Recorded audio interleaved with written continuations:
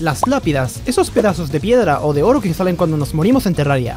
Muchos pensarán que son totalmente inútiles, pero en este video demostraré que no es así. A continuación, 136 utilidades de las lápidas. Sí, son muchas. Bueno, comencemos. Como muchos sabrán a partir de la versión 1.4 de Terraria, al colocar 7 o más lápidas se crea un bioma de cementerio. Y este bioma será el que nos dará todas las utilidades. Para mis amigos los tryhards que juegan en modo hardcore, hay una solución para ustedes.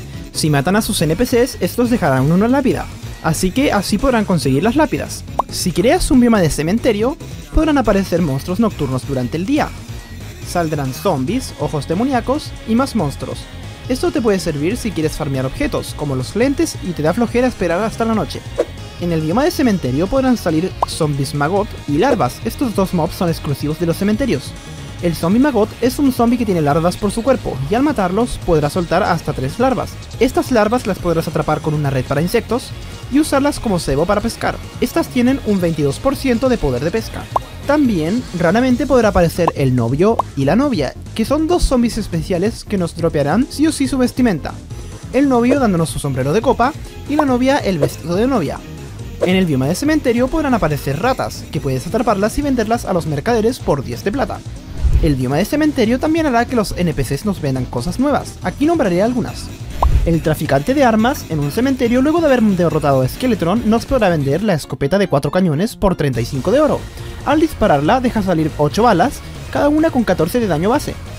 El comerciante de tintes nos venderá el tinte rodeado de niebla, que lo que hace es darle un aspecto grisáceo como si tuviese niebla encima al objeto que se le asigne el tinte. La Steampunker nos podrá vender el soldador de huesos, este objeto sirve para crear muebles a partir de huesos, y te servirá si la quieres conseguir sin buscar en la mazmorra.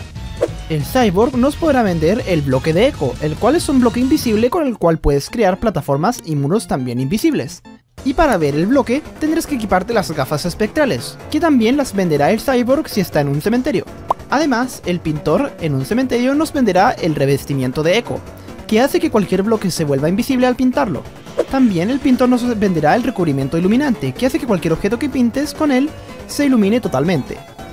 El pintor también nos venderá muchos cuadros exclusivos en el cementerio que puedes usar para decorar. El buhonero o el sastre nos podrá vender el traje de sepulturero que se divide en el sombrero y el abrigo de sepulturero. También nos podrá vender el traje completo de funerario, que es ropa decorativa, y el paraguas trágico, que este funciona como arma teniendo 15 de daño base y se puede usar para caer más lento. Y además nos podrá vender el vestido y el sombrero gótico victoriano, un traje bastante bonito. Incluso hay una utilidad del cementerio muy especial y útil.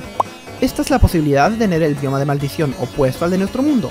Cuando la Driada está en un cementerio durante el modo difícil, o sea luego de haber derrotado al muro de carne en ese mundo, nos venderá las semillas de la maldición opuesta de nuestro mundo. O sea, si tienes corrupción, nos venderá las semillas de carmesí y viceversa. Lo más impresionante del cementerio es que nos permitirá crear muchas cosas extra en las mesas de creación. En el yunque podrás crear una vagoneta ataúd con 5 lingotes de hierro o de plomo, 10 de madera y 10 trozos podridos o vértebras. Y también podrás crear la pala del sepulturero, que nos permite cavar tierra en un espacio de 3x3. Se crea a partir de 12 lingotes de hierro o de plomo y 3 de cualquier madera.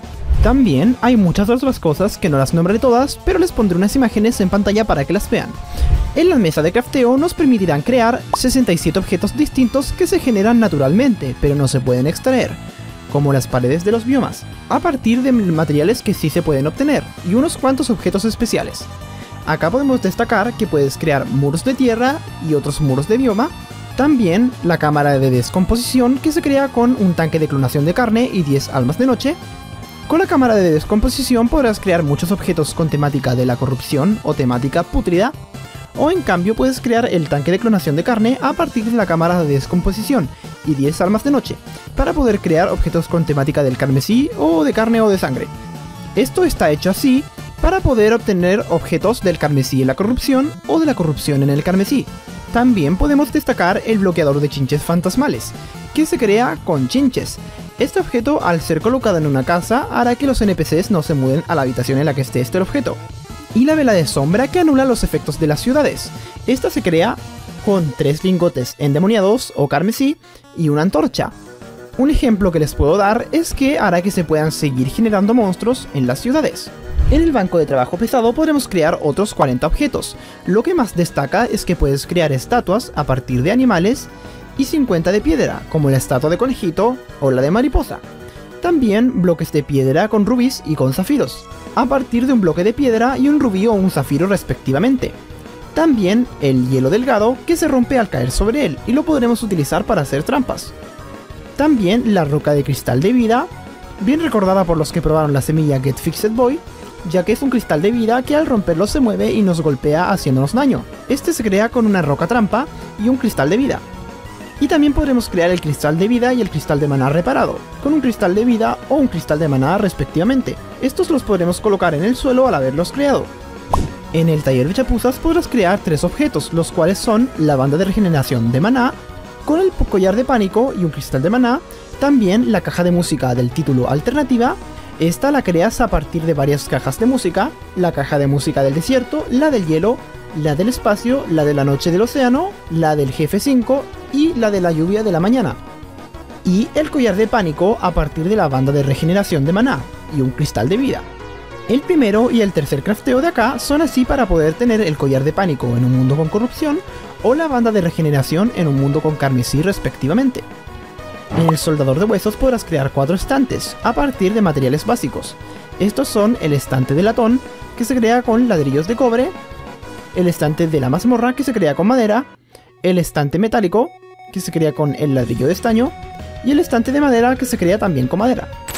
Y en el telar podrás crear los tres estandartes de los monstruos característicos de las cuevas, la salamandra, el conchito gigante y el padre cangrejo. Esto ya que si sale un conchito gigante nos saldrá el padre cangrejo y viceversa podrás crear el estandarte de Padre Cangrejo con el de Salamandra y de Conchito Gigante, el de Conchito Gigante con el de Salamandra y Padre Cangrejo, y el de Salamandra con el Padre Cangrejo y Conchito Gigante. Ahora les diré unas cuantas curiosidades de las lápidas para hacer el video más completo. Cuando mueres con más de 10 monedas de oro, la lápida que dejará tu personaje será dorada. Si hay un girasol cerca de las lápidas, esta anulará el efecto de una lápida. Por lo tanto, si tienes 7 lápidas y 2 girasoles, no se creará el bioma de cementerio. La lápida funciona como un cartel. Cuando mueres, esta contendrá un mensaje que dirá cómo moriste. Este mensaje puedes modificarlo manualmente.